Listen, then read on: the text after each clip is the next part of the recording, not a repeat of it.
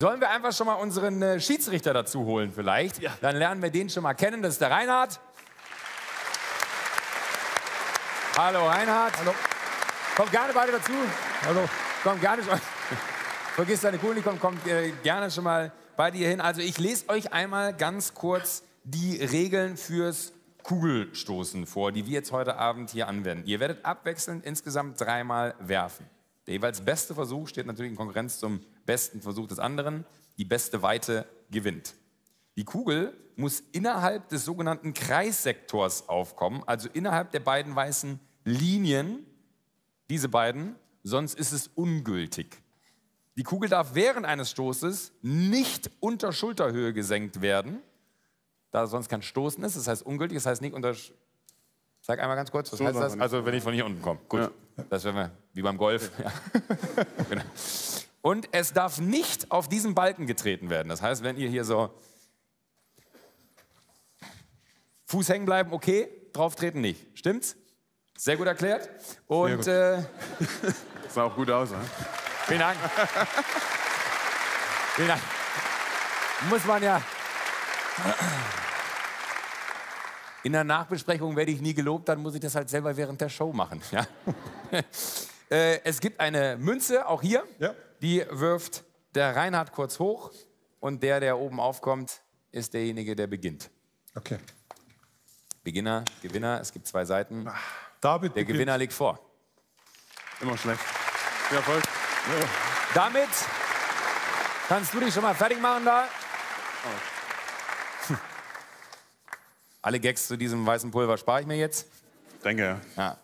So. Aber auf der letzten Weihnachtsfeier, uiuiui. Kannst du mitnehmen zunächst. Gut, Elmar, kommen wir kurz zu dir. Elmar ist der Mann, der uns durch den Abend führt, wenn die sportlichen Wettkämpfe laufen. Was denkst du? Wie sind die Handicaps gewählt? Ist das gut, ist das nicht? Ich kann es tatsächlich wie bisher bei jedem Wettkampf nicht einschätzen.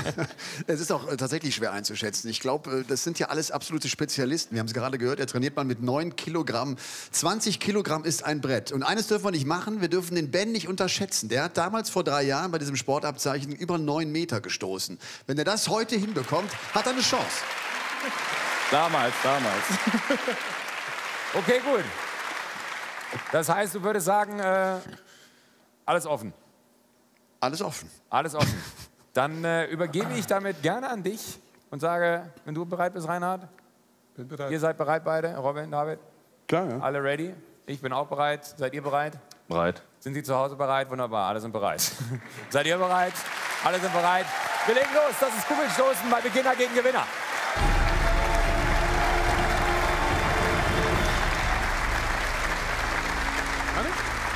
Wann immer du willst, dein Timing. Also David Stoll wird vorlegen. Und mal sehen, mit wie viel Power er diese 20 Kilo Kugel hinauskatapultieren kann. What? Unglaublich. 20 Kilogramm ist dieses Ding schwer. Und da sind schon erste kleine Zweifel im Gesicht von Robin hat der Mann eine Power. 120 Kilogramm wiegt er. 8,92 Meter. 92. Das ist eine gute erste Alter. Weite. Er hat so ein leichtes Grinsen im Gesicht. Aber nochmal, es müsste eine Weite sein, die auch Robin hinbekommen könnte. 8,92 Meter. Du hast doch unzufrieden geschaut. Ja, ein bisschen, ne? War der Erste erstmal zum Warmwerden und reinkommen. Du, du, hast unzufrieden geschaut, weil du, die, die ist nicht gut genug mit 20 Kilo. Ja, war nicht ganz getroffen. Ne? Es ist, als wenn du da ein kleines Baby geschmissen hättest. Ja, das stimmt schwer. Also jetzt nur, nur ein großes Baby, Sie haben vollkommen recht. Gut. Robin, wann immer du willst. Robin? So, Robin kann loslegen.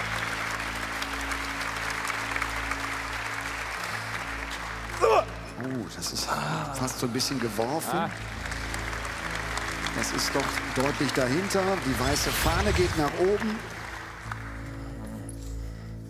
Sollte vielleicht versuchen, die Kugel ein bisschen länger am Kinn zu halten, ein bisschen mehr zu stoßen. 43. 7 Meter 43. Und damit liegt der Doppelweltmeister David Stahl erstmal in Führung. Du schüttelst den Kopf? Ja, war kacke, ne? Ja, musst du länger am Hals lassen, die Kugel. Musst Keine Ansage, musst du länger am Hals lassen. Klar. Haben wir alle gesehen. Musst du gar nicht hier so einen auf Klugscheißer machen. Nein, aber äh, war es das? Zu, zu früh vom Hals weggenommen? Ja, ja, das, das war's. Ein bisschen weggerutscht auch, ne? ja. Aber gut. Du hast noch zwei Würfe, alles ist noch drin. Ne? Der Mann wird jetzt auch langsam müde. Ja. Ich mache ja immer drei schon. Du hast ja immer drei, ja, du hast drei Kugeln drauf quasi. Bitte. Kann ich wieder, ja? Ja, du kannst äh, dein Timing. So, alle klatschen jetzt. So, Herkules mit seinem zweiten Versuch. Hat schon gesagt, dass er mir aus dem Stand heraus, aus der Drehung heraus stößt. Oh, der ist ein Tick weiter. Das sind über neun Meter. Das ist die nächste Bestweite von David Stoll. Boah, stößt er das Ding da raus. 9,35 Meter. 9,35 Meter.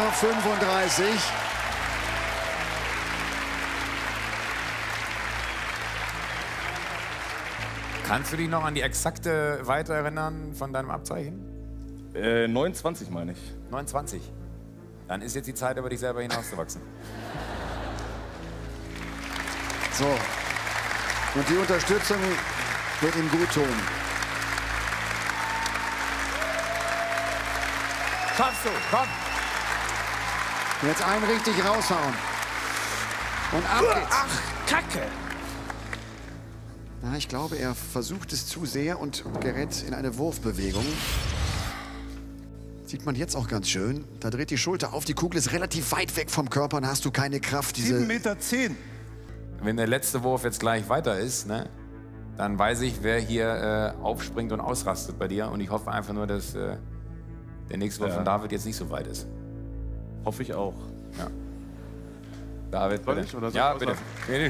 Willst du, ach so. so, Davids Bestweite, also mit der Männerkugel, steht bei 22,20 Metern. 22,20 Metern. Jetzt will er hier mit der 20 Kilogramm Kugel die 10 Meter Marke knacken.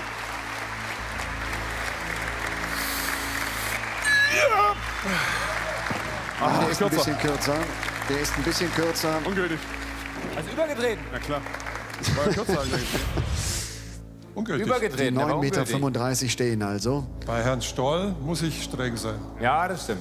Das war, äh, also die Weite, die es zu schlagen gilt, 9,35 Meter. ist 9,35 Meter. Aber ich schaff's ja. Und ich sage dir, jeder Einzelne hier, ne, glaubt daran, dass du es packen kannst. Selbst, selbst David hat gerade gesagt, das schaffst du. Ja, So. Der Feuerwehrmann aus Dortmund, Robin. Komm rein. Jetzt haust du einen richtig raus.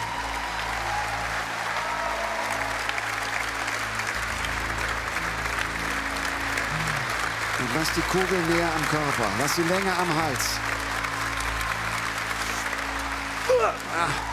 Ah, ah, deutlich besser, deutlich besser. Aber es wird nicht reichen. Es wird nicht reichen. Ich denke mal so, was sind das? 8,80 Meter? Aber eine gute Weite wird's. 8,61. 8,61 Meter setzt sich Damit auch hier leider, der leider, Gewinner durch. leider. ja, letzte war, letzte war gut. Du ärgerst dich. Bitte? Du ärgerst dich. Ja, sicher ärgere ich mich. Der letzte war ganz gut, ne? Die beiden davor waren richtig kacke, ne? Ja, weiß nicht warum. Vielleicht noch mal ganz kurz die Frage, äh, war es das Handicap? Es war zu nah an deinem eigentlichen Sport, ne? Ja, also Fernseher und Wasserkasten wäre, glaube ich, deutlich unhandlicher gewesen. Muss man mal sagen. Ja. Hey, Moment. Oh, Moment. Aber ich, ich finde es gut, ist ja zu sehen, du hast ernsthaft hierfür trainiert, das muss man mal ganz kurz festhalten. Und du hast es jetzt heute hier nicht geschafft, aber mein Lieber, du hast über acht Meter mit einer 7,5 Kilo Kugel geworfen, da würden die wenigsten hier im Publikum mithalten können. Die Frage ist natürlich jetzt, David, würdest du tatsächlich noch den Fernseher werfen wollen? Nur Verletzungsrisiko, Ja, alles gut. nur wenn es safe ist. Ja? Geht ja. Ich gehe mal kurz den Fernseher holen. Wo haben wir denn den Fernseher? Ich nehme, ich nehme, ich nehme. Danke. Das ist natürlich jetzt ärgerlich, ne? Was, sagt ihr da oben? Also ich sage Minimum sieben Meter. Minimum, eher sogar mehr. Ja, ich würde auch sagen so, ja. um, um die pro sieben Meter. Mir ist eigentlich egal, ich will nur Ja. sehen, wie der fliegt. Und landet. Der fliegt, ja. Ich sage 8,59. Das sind ungefähr äh, 20 Meter, die wir hier vorbereitet haben. Wenn der den Fernseher da hinten durchschmeißt, dann haben wir einen Weltrekord hier. 8,59. 8,59? 8,59 sage ich, ja. Das ist ja interessant. Was sagst du? Ich würde mehr sagen, sonst hätte ich den ja genommen. Aber 8,59, du sagst? Über neun auf jeden Fall, wie gesagt. Anni? ah, er ist ja leichter, aber vielleicht zu unhandlich. Ich sage jetzt einfach mal sieben, siebeneinhalb. Siebeneinhalb. Ich sag siebeneinhalb. Wieso? Einfach so. Neun. Neun. Ich sag äh, 8,86. 8,86. Soll ich einfach anfangen? Elmar! Moment, Elmar! Joko, Ja, ich möchte wissen, was du schätzt. Was sagst du? ich sag über 10. Über 10? Ja. Über 10, ja? Was hier? Über 10.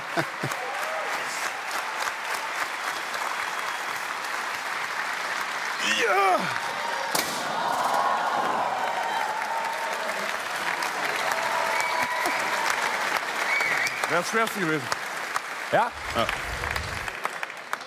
Weil den kriegst du ja nicht so richtig in die Hand genommen, weißt du? 7,23. Siebenhalb. Anni hat gewonnen. Ja. Ich weiß nicht, ob das jetzt sinnbildlich für diese Show war, dass wir hier einen Fernseher kaputtgeschmissen haben. Hoffen wir einfach, dass die Quote am Morgen einfach ein bisschen besser ist als das, was wir da vor uns liegen sehen. Reinhard, ich sag vielen Dank äh, für deine Hilfe. Es war leider nicht das richtige Handicap, das hat man Nee. jetzt gesehen. Aber nochmals, Trotzdem gut. bei der Leistung, ne, du hast gegen einen der besten Kugelschüsse der Welt verloren. Das kann mal passieren. Euer Applaus. Dankeschön. Gerne einmal durch die Mitte. Zurück ganz gerne mit den.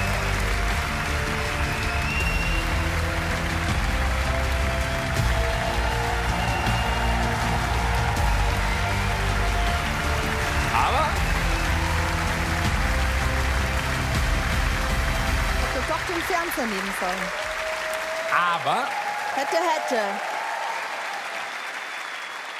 ich finde es ja fast faszinierend, was man noch so aus so Sportlern rausholen kann. Ne? Dass der so eine, also wann sieht man mal einen Kugelstoßer von dem Kaliber, der 20 Kilo stößt? Also Wahnsinn. unfassbar. Ja, ja. Das ist unglaublich. Gut.